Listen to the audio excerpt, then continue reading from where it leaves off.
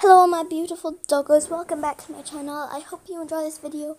I love you all so so much. I hope you have an amazing day.